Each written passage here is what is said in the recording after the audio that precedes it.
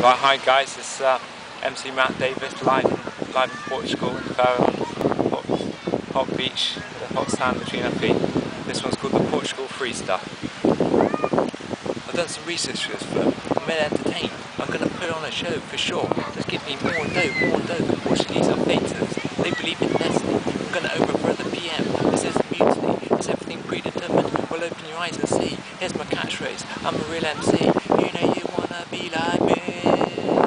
The Portuguese love football. That's about old school. Who's the greatest? Deco, Ronaldo, Figo, Nani. Who has a record number of Ballon d'Ors? Well, who else? Cristiano Ronaldo. Won it five times, level with Messi. His arch rival.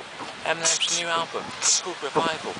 But back to football. The biggest stadium in Portugal. Don't do that, Victor. The biggest stadium in Portugal is the Estadio de Luz.